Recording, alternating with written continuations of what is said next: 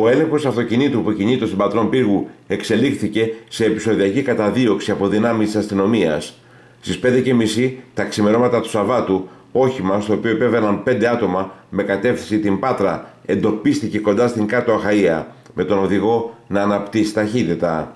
Ακολούθησε καταδίωξη και ένας εκ των επιβαινόντων στο αυτοκίνητο έβγαλε όπλο και πυροβολούσε στον αέρα. Το ύποπτο όχημα κατευθύνθηκε σε χωριά της Αχαΐας, μεταξύ των οποίων Ριόλο και Πέτα και τελικά κατάφερε να διαφύγει. Η έρευνα για τον εντοπισμό και τη σύλληψη των δραστών συνεχίζεται από την ελληνική αστυνομία και σήμερα.